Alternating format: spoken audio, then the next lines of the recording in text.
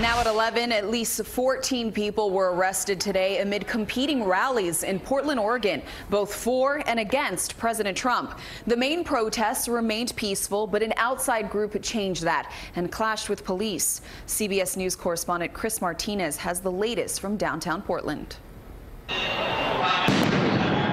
Police set off numerous smoke and percussion grenades to control rowdy protesters as Trump supporters and critics held opposing rallies in downtown Portland Sunday.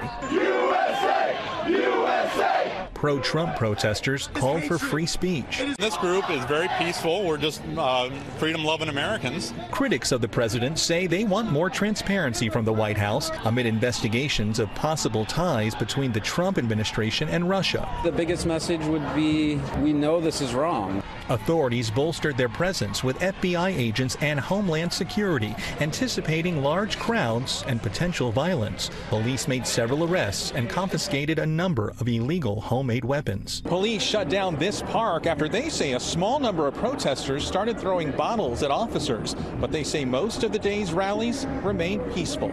The rallies took place in the wake of a deadly attack aboard a Portland train. Police say 35 year old Jeremy Joseph Christian shouted anti Muslim hate speech at a teen wearing a hijab, then stabbed and killed two bystanders who tried to stop him. Portland police say they trained for weeks in anticipation of the protests. Chris Martinez, CBS News.